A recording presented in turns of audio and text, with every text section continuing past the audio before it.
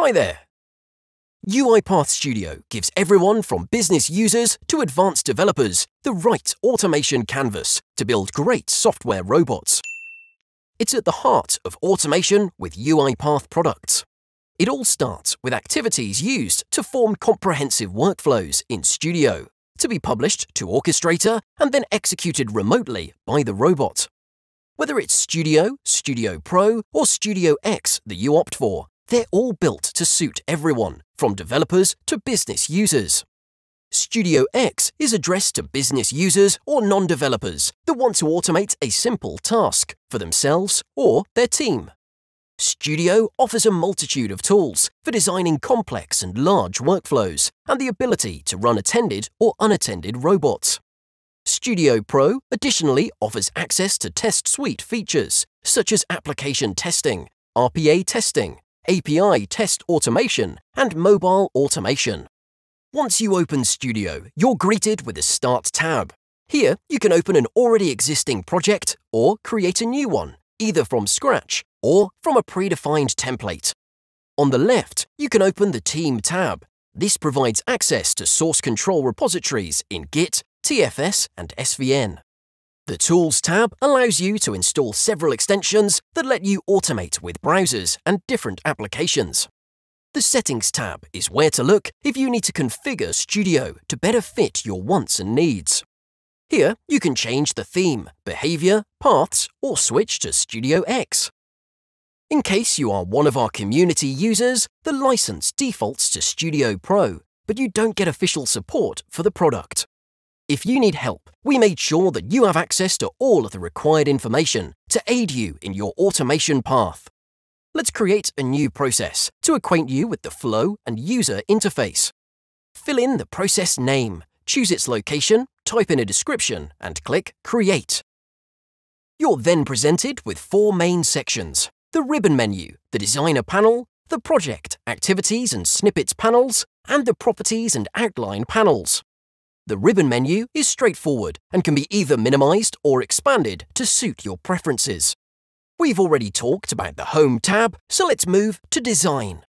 This is where you can add different automations, such as sequences, flowcharts, and state machines to your project, install and manage activities packages, build interactions with UI elements, and then publish your work to Orchestrator or custom feeds.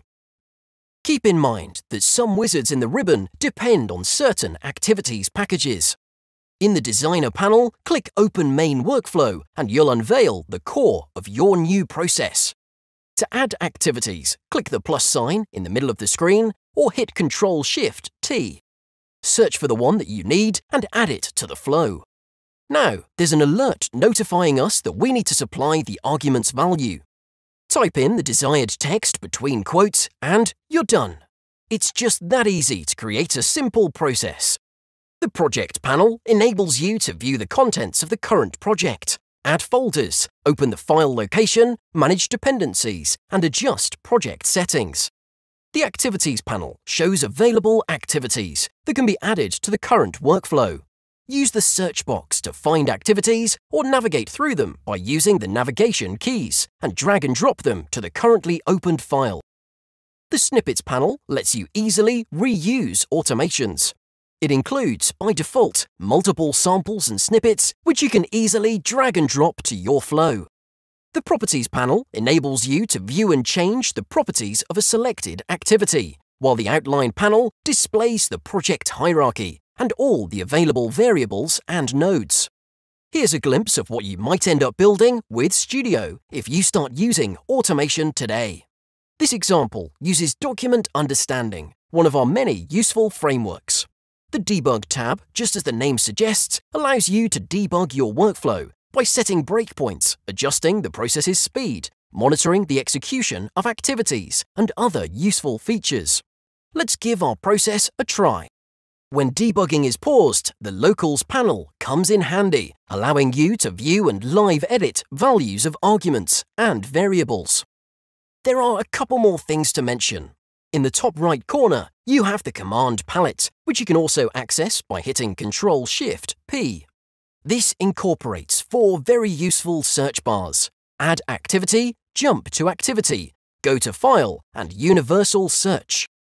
You can always click the Send Feedback button if you want to submit an idea for the product or report a bug. Fill in the details as desired, click Send, and your feedback will go directly to the product team. Now that you've learned how to use UiPath Studio, you're ready to embark on your automation journey. Thanks for watching.